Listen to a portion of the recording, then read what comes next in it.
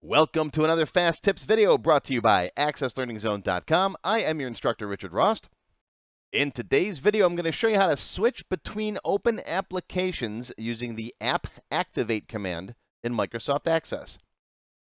A couple of weeks ago, I released the Send Keys video, and in that video, I show you how to open another application from Access, and then you can use the Send Keys command to send keystrokes to it as if you were typing at the keyboard. So we learned how to use shell to open up Notepad and send keys to it as if you were typing. And I've gotten a lot of emails since then, people asking me, well, what if Notepad's already open? I don't want to open another copy of it. I want to like go back and forth between Access and Notepad or between two different applications. How do I do that? Well, there's a command called app activate that lets you activate another application. Basically, it sends focus to that application. So in this video, I'll show you how to do that. But first, this is a developer video. What does that mean? That means you're going to need to know a little bit of VBA. So if you've never done any programming before, go watch this video. It's absolutely free. It's on my website. It's on my YouTube channel. It'll teach you everything you need to know to get started programming in VBA in about 20 minutes. So go watch that and come back if you've never done any VBA before and you want to learn. And also go watch my sleep video. We're going to need to have a sleep timer between commands because you can't just open up and switch between different applications and send keys immediately. You've got to open it up, wait a second, then you can send some keys, wait another second, and then switch back. If you do it all without any pauses in there, it causes problems. So go watch the sleep video too and get that code. Okay, so here I am in my Tech Help free template. This is a free database. You can download a copy off my website if you want to. But for this example, you can use pretty much any database that you want. Let's go to Design View. Let's just repurpose this button here. We'll make this my App Activate button. Let's right-click, go to Build Event, open up the code builder. Here we go. Okay. Now, in the last class, we learned how to open up Notepad, and that's just going to be shell and then notepad.exe, comma, and you want to use VB normal focus. So it opens up in the foreground and has focus. You don't want it minimized. I mean, you could open it maximized if you want to. And remember, if you're using an application that's not part of Windows, chances are you'll need the full path in here. Like if you want to open up your web browser or Microsoft Word or something like that. I talk about all that fun stuff in the shell video. So now I can go in here, save changes, open it back up again, click the button, and then Notepad pops right up. It actually opened up on my different monitor, so I had to move it over here and cheat. So there we go. I'll do it again. There we go. it usually remembers the last spot where you opened and closed it. Now, if I want to send some text to it, I like to wait a second. I didn't cover the sleep function in the other video, but usually if you're just opening up one application, you can send keys right to it. But just to be safe, I always do a sleep 1000. It's sleep one second. Those are milliseconds. And then send your keys. So send keys. Hi, this is Captain Kirk or whatever. Okay. All right, save it, come back over here, click, and there you go. See, it opened it, it waited a second, and it sent the keys. Now, let's say after that, we want to open up Calculator. Okay, so let's go back over here. Again, I'm going to sleep a 1000, shell, and it's calc.exe. Again, part of Windows, VB normal focus. Okay, wait a second. And then we're going to send keys Let's send it, uh, let's make it add up 4 plus 5. So we need 4. Now, plus is a special character for send keys, so it's got to be inside of curly braces. And then 5, and then equals. We're going to send that, and hopefully it'll be displaying 9, right? Sleep another second, and then we're done. Save that. Come back in here. Hit the button. Ready? Let's make sure Notepad is closed first. Hold on. Close this. Okay, don't save changes. Ready? Here we go. Fresh start. Go. There's that. Hi, Captain Kirk. And it opened up calculator and gave me a 9. Yeah, this opened up my other screen too. Let's do it one more time. Ready, go. Perfect. Okay, now, if I issue another shell command for Notepad, it's going to open up another copy of Notepad. All right, watch this. Let's close these both down again. If I do, let's do the same thing again. I'm just going to copy that, come down here, all right, and paste in. Uh, this is Mr. Spock, and let's put some let's put some enters in here too. Enter like that. Put a couple enters in. They're not one on top of each other. Okay, so this should open up a second copy of Notepad. Ready? Here we go. It's Captain Kirk. Calculator. Second copy, there's Mr. Spock. Okay, that's not what we want though. We want both of those to be in the same instance of Notepad. So we're going to use app activate to activate this application.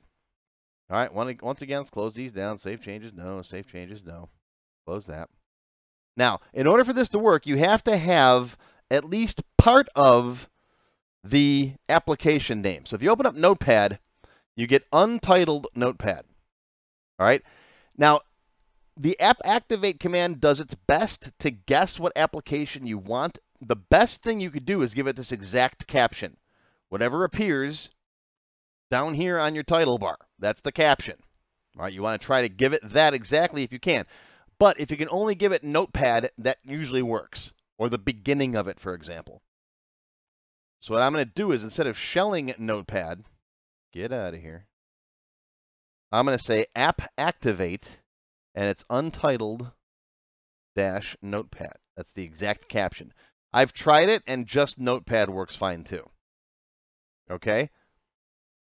We'll talk about these other parameters in just a minute. All right, let's see if this works. Ready?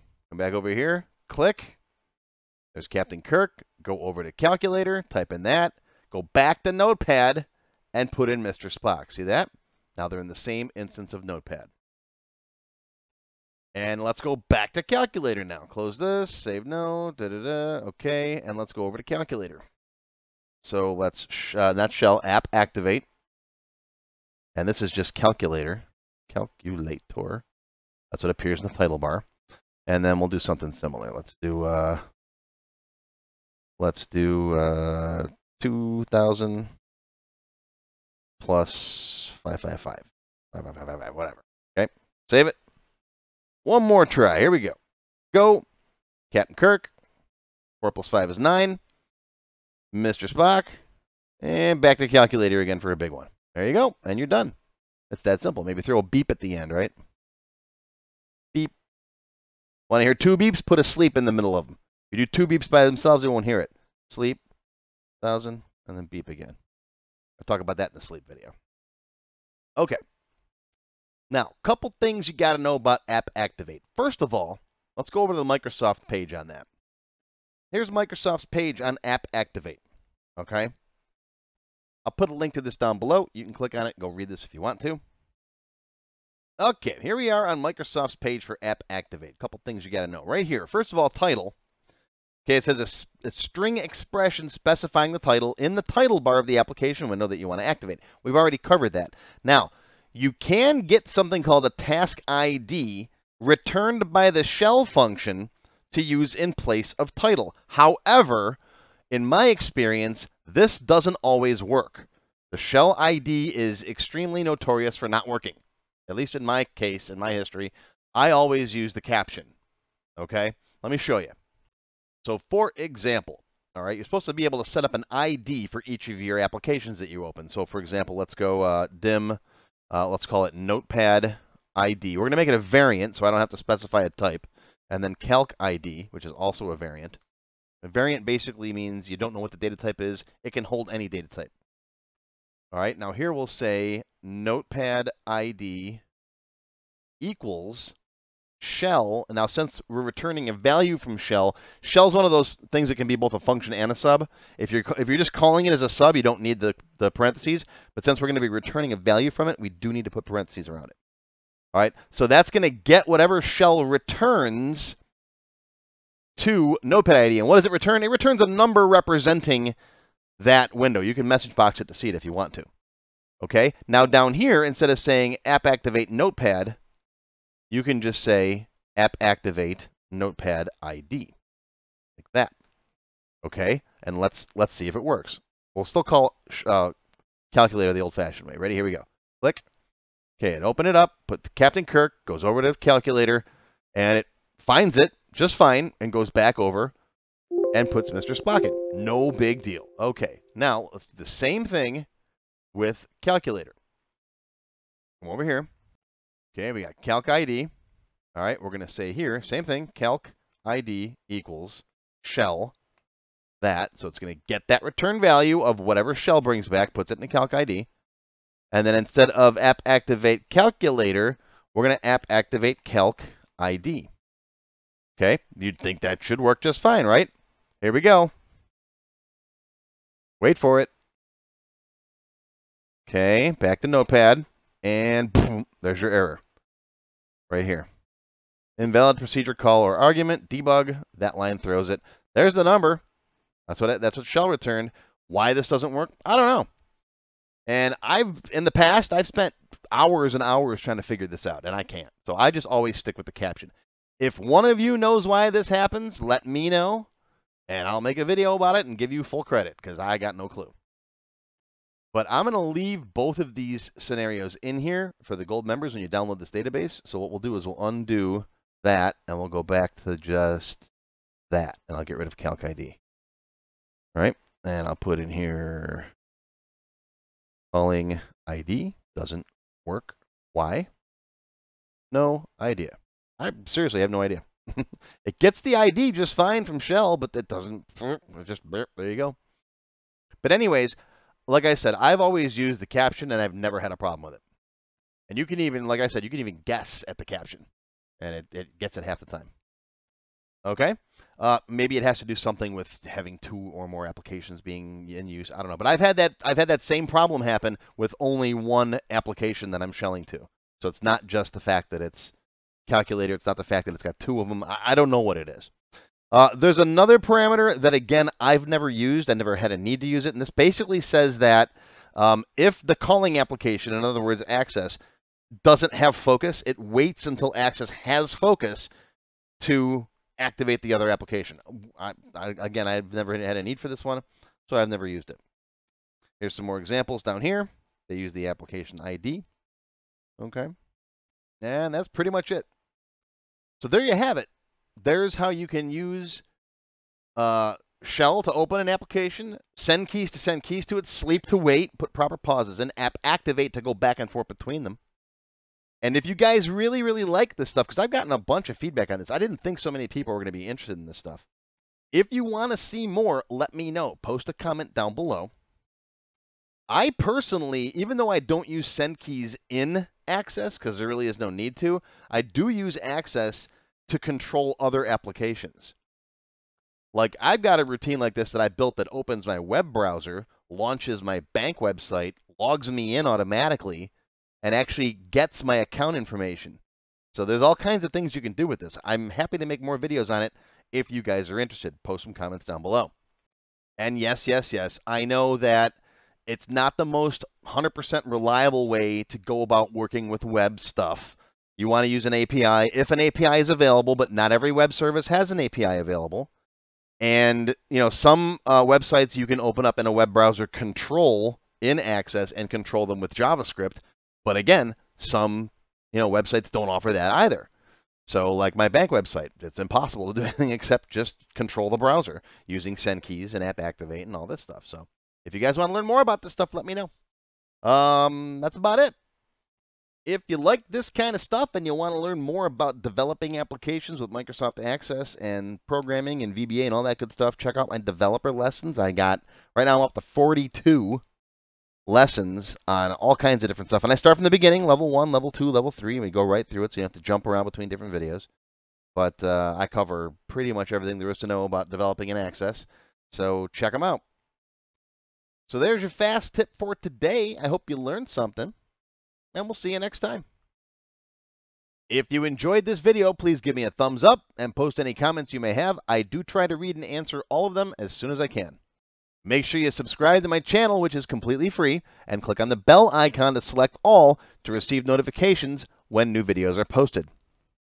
Make sure you click the Show More link down below the video to find additional resources and links You'll see a list of other videos, additional information related to the current topic, free lessons, and lots more.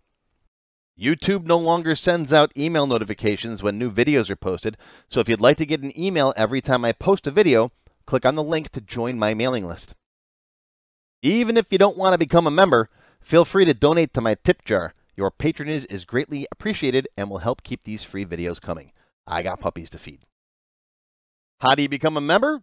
Click on the Join button below the video. After you click the Join button, you'll see a list of all the different membership levels that are available, each with its own special perks. Silver members and up will get access to all of my extended cut tech help videos, one free beginner class each month, and more. Gold members get access to download all of the sample databases that I build in my tech help videos, plus my code vault, where I keep tons of different functions that I use. You'll also get a higher priority if you decide to submit any tech help questions to me, and you'll get one free expert class each month after you finish the beginner series. Platinum members get all the previous perks, plus even higher priority for tech help questions, access to all of my full beginner courses for every subject, and one free developer class each month after you finish the expert classes. These are the full-length courses found on my website, not just for access too. I also teach Word, Excel, Visual Basic, and lots more. You can now become a Diamond sponsor and have your name or company name listed on a sponsors page that will be shown in each video as long as you're a sponsor. You'll get a shout out in the video and a link to your website or product in the text below the video and on my website. But don't worry, these free tech help videos are going to keep coming. As long as you keep watching them, I'll keep making more and they'll always be free. Now, if you have not yet tried my free Access Level 1 course, check it out now. It covers all the basics of Microsoft Access. It's over four hours long, and I just updated it for 2021. You can find it on my website or on my YouTube channel. I'll include a link below that you can click on. And also, if you like level one, level two is just $1. Yep, that's all, $1, and it's free for all members of my YouTube channel at any level, even supporters. Want to have your question answered in a video just like this one? Visit my tech help page on my website. You can send me your question there. While you're on my site, feel free to stop by the Access Forum. Lots of good conversations happening there. Be sure to follow my blog, find me on Twitter, and of course, YouTube. Once again, my name is Richard Rost. Thank you for watching this Tech Help video brought to you by AccessLearningZone.com. I hope you enjoyed this video and that you learned something today. I'll see you again soon.